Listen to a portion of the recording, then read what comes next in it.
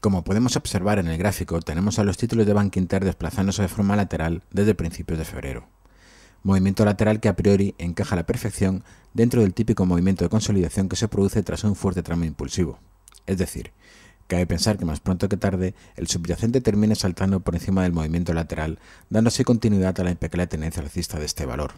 La confirmación definitiva la tendremos una vez el precio confirme por encima de los 6,09 euros. Dicho esto, quiero destacar que no observo resistencias de verdad hasta los 7,2180 euros, los máximos históricos que alcanzó en diciembre de 2007.